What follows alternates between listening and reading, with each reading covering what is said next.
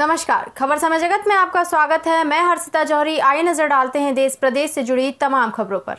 सवा क्विंटल मिष्ठान बनाकर किया प्रसादी वितरण। खालवा तहसील के अंतर्गत आने वाले ग्राम खारकला में बिजवासन माता मंदिर में श्रावण माह के आखिरी सोमवार को प्रतिवर्ष अनुसार इस वर्ष भी सवा क्विंटल मिष्ठान बनाकर ग्रामवासियों को वितरित किया गया। हर साल लगभग चालीस हज़ार रूपए की लागत से प्रसादी तैयार की जाती है, जिसमें समस्त ग्रामवासियों का सहयोग रहता है।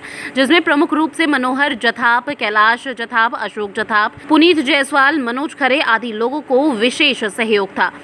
हम मौजूद हैं इस वक्त हलवा तहसील के अंतर्गत आने वाले ग्राम खारकला में।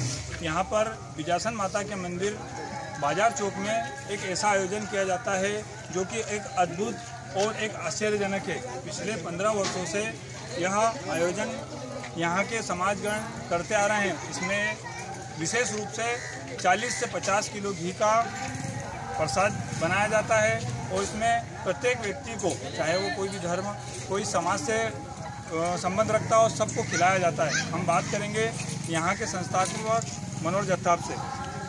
आ, इस बार आपने क्या व्यवस्था की? इस बार हमने कड़ावे की व्यवस्था की है और पूरा ग्राम से चंदा करके और कड़ावा किया माता जी का। और पिछले पंद्रह वर्षों से हम कड़ावा करते चले आ रहे हैं और हर साल इसी ऐसे ही करते रहेंगे। हम मतलब आपको ये सावन का ही महीना आपने क्यों स्पेशली चुना?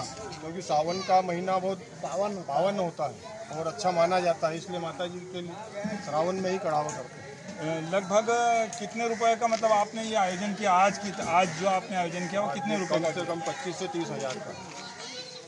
पच्चीस से तीस हज़ार रुपये का चंदा कर कर यह आयोजन प्रतिवर्ष किया जाता है।